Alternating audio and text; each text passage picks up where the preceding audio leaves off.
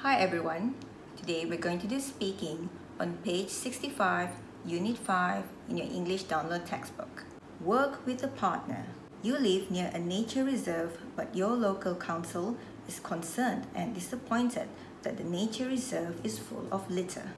Anda tinggal dekat kawasan perlindungan hidupan liar tetapi majlis tempatan anda sekarang risau dan kecewa kerana kawasan itu penuh dengan sampah. Here are some ideas that the local council is considering to solve the problem. Di sini ada beberapa idea untuk menyelesaikan masalah ini. First, talk to each other about how successful each idea would be. Pertama, bincangkan setiap idea dan nyatakan kenapa idea tersebut boleh berjaya. Then, decide which two ideas the council should choose. Kemudian, pilih dua idea yang anda rasa majlis tempatan harus pilih. Use the words and phrases in the language bank to help you. Dan gunalah frasa-frasa dalam language bank ini untuk membantu anda. Di sini adalah soalan untuk bertanyakan pendapat. What do you think about? Apakah anda rasa tentang? What's your opinion of? Apakah pendapat anda tentang? Do you agree that? Adakah anda setuju? What would you say about? Apakah anda rasa tentang? Why do you think? Kenapa anda rasa?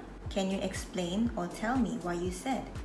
Bolehkah anda terangkan kenapa anda berkata demikian? Now let's look at the ideas here on how could the council reduce the amount of litter in the nature reserve. Employ someone to pick up litter upah orang untuk mengutip sampah, provide more rubbish bins, sediakan lebih banyak tong sampah, put up signs saying please don't drop litter, letakkan tanda menyatakan jangan membuang sampah, organize regular cleanup days, anjurkan hari pembersihan, give every visitor a leaflet about littering, bagi setiap pelawat satu risalah tentang membuang sampah.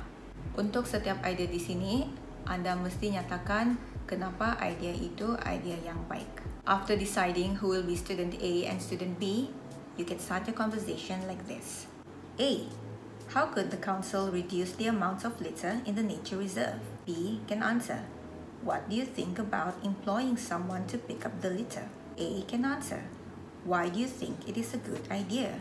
And B can say, I think it is a good idea because every time there is new rubbish, there is someone who will pick it up. A can answer, I see. What's your opinion of providing more rubbish bins? B can answer, Can you explain how it can reduce the amount of litter? So A boleh jawab, In my opinion, by providing more rubbish bins, people will not litter everywhere. Okay, and then B boleh jawab, Right. What would you say about putting up signs saying, please don't drop litter? A boleh tanya, how would that help? And then B jawab, in my view, doing this will help remind visitors not to drop litter.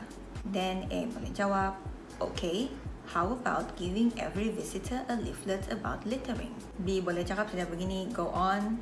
Then A akan jawab, if you ask me, this could be a successful idea as this can spread awareness about littering.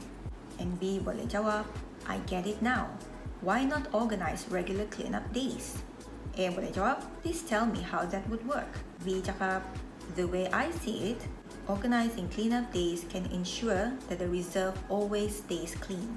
Selepas menerangkan kebaikan semua idea ini, sekarang kamu kena pilih dua idea yang terbaik. Student A can say, brilliant idea. Now we have to decide two ideas for the council to choose. Do you agree that the council should choose? So di sini kamu buat pilihan kamu sendiri. And then B boleh jawab, yes I do. How about pilihan kedua sekarang? Do you think that would be a successful idea?